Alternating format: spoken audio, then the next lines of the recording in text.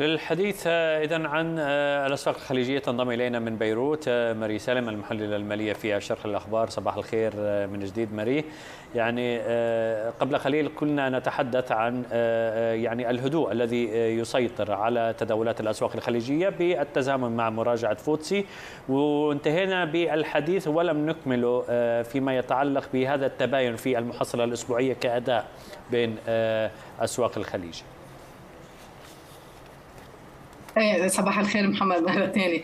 يعني فعلا كنا عم نحكي على التباين بأداء الأسواق وهي شغلة اعتدنا عليها مؤخرا بقلب الأسواق الخليجية. يعني عم بيكون في عنا ارتفاعات دايمة عم بتكون إجمالا على سوق دبي المالي تراجعات متزامنة دايما على مؤشر سوق أبو ظبي.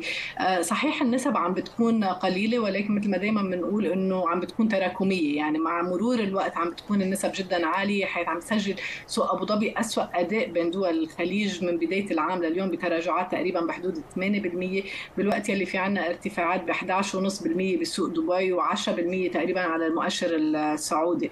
المستثمرين كنا عم نحكي محمد إنه بلشوا الانتقائية تبعهم منذ بداية العام فيما يتعلق بالأسهم يلي بيتم التداول عليها وحتى بالتوزيعات يلي هي عم تستقطب أكثر المستثمرين. يعني عم نشوف توزيعات سوق دبي المالي خاصة من بعد الإدراجات والإكتسابات الأولية اللي حصلت بالعام الماضي الأسهم تبعها عم بتكون العوائد تبعها عالية. فبالنسبة للمستثمرين هي عم بتكون الحاظيه بالحصة الأكبر في تداولاتهم وعلى فترات طويلة. يعني ممكن إنه نشوف حتى استثمارات أو تداولات يومية أو قصيرة المدى بسبب الجروث يلي بيصير على سعر السهم أو الارتفاعات يلي عم بتصير على سعر السهم إضافة للتوزيعات. يعني عم بتكون المحفزات أكثر مما هي موجودة ببقية الأسواق.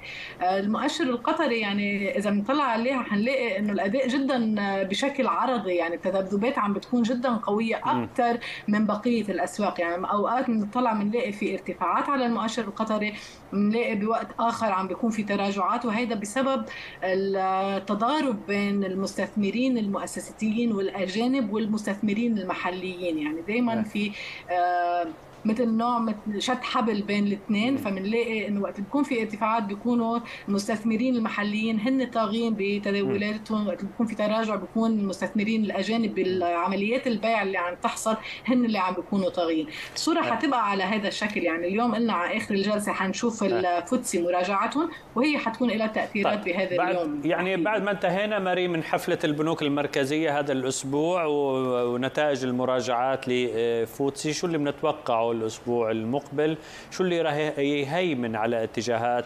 وتداولات الأسواق الخليجية؟ هل راح يعني تعود المضاربات للأسواق؟ كيف نتوقع تكون أحجام التداول مع غياب المحفزات إن صح التعبير؟ هلا محمد نحن قريبين جدا من نهاية الفصل يعني بعد في عنا أسبوعين بينتهي الفصل ففي كثير من المستثمرين يمكن يبلشوا يتمركزوا بال بسبب النتائج يعني نشوف الاستثمارات تبعهم متعلقة جدا بالتوقعات للنتائج تبع الربع الثاني. فممكن إنه نشوف في فترة من الفترات نوع من هدوء شوي بقلب الأسواق قبل ما نرجع نشوف الزخم في بسبب النتائج يعني مش رح ينطروا المستثمرين لبدء إعلان النتائج ببلشوا قبل فترة ياخذوا أو ياخذوا استثماراتهم ويتمركزوا فيها كرمال إنه التوقعات تبع النتائج كيف رح تكون بالنسبة لهم إذا كانت إيجابية ولا إذا كانت يعني ضمن التوقعات إلى آخره. بنصير بنشوف تداعياتها مع إعلان النتائج بداية الشهر الجاي.